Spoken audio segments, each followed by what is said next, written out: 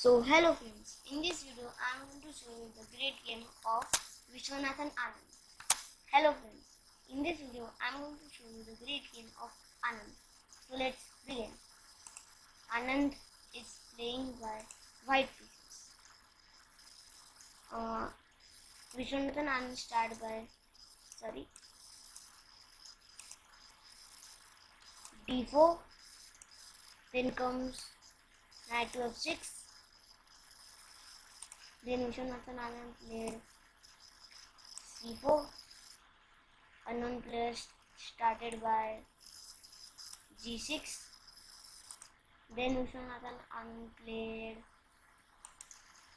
sorry then Viswanathan Anand played f3 then unknown player played c5 see now if you capture this black pawn center will break. So this is not a good move. But anand did not capture that pawn anand gained space get, get space. Then unknown player played pawn d6 then anand played pawn to e4 and then came bishop to g7 then knight to e2 then unknown player castle short side then Viswanathan Anand then Viswanathan Anand played knight to c3 they did not take this knight out. They instead of taking this knight they take this knight the idea is that when the knight is on e2 or this square, then knight is unable to go unable to go to attack the opponent king. Then unknown player plays knight to h5, opening the diagonal of the bishop. Then An- Viswanathan Anand played bishop to g5.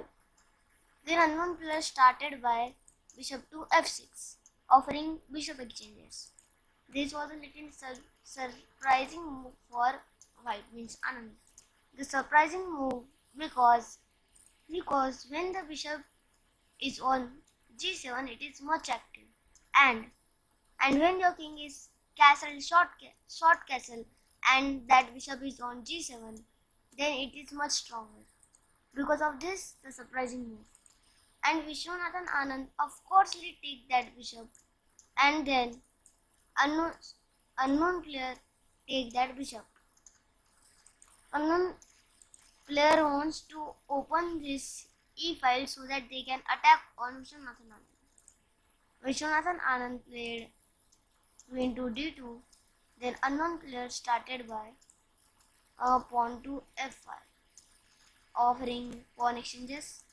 Anand accepted this offer. Sorry, unknown player captured it with bishop and then Viswanathan Anand played. Then Anand played pawn to g4, fork. Now it's fork, but he can save one piece just like this. Bishop captures knight on b1 and then rook captures on b1 but in this position they played uh, rook to e8 it's a check. Then anand played king to d1 it's looking that anand's king is much weak. But if you look carefully anand's king is so safe. And then bishop captures on b1 rook captures on b1 now you would be thinking that they will save knight but they played queen to f6 and it's not sacrifice it's a blunder. The idea is that they will take this pawn and a four pawn king king and rook. But anand played pawn to captures knight. Then Then unknown player played queen captures pawn. Then white moved to c4 and they of course captured this rook. See, now white played queen to f2. A beautiful move. Now this queen is trapped. very he, she will? Uh, he Anand can play anytime bishop to d3 or bishop h3 and then there will be attack on this black queen by the rook and his queen will be gone. Now if they want to save their queen then they had to sacrifice his knight just like this and then this queen will capture this pawn and will be saved. Now you can see that white has extra piece means it is winning.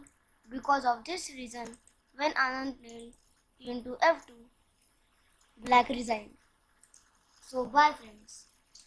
Please subscribe, like, share and to see my other video please click that I button. Bye.